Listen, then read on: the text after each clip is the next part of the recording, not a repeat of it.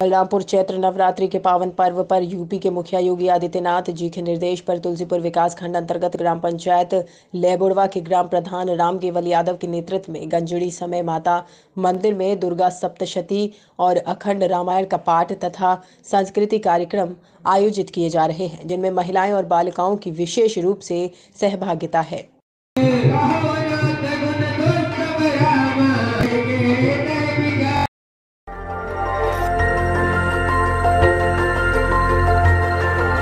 देखते रहिए डीबी भारती समाचार नज़र हर खबर पर।